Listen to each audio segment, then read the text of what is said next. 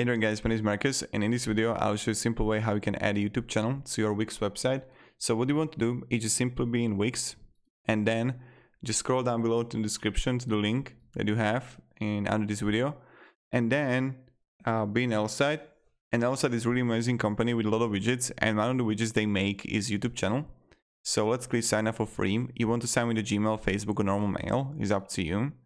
And when you got it, click login right here in applications, you want to write in search and right here YouTube. And YouTube gallery, let's create a widget. Now you see here YouTube channel.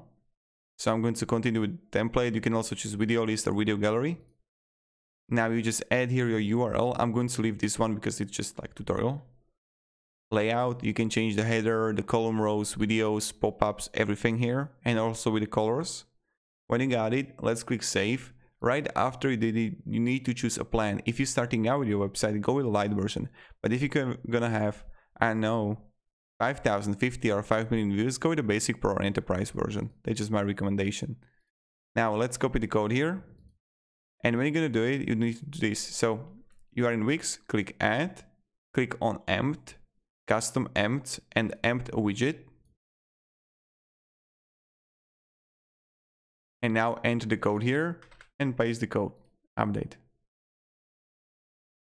And voila here you got it. Really simple really easy. And this is how you can add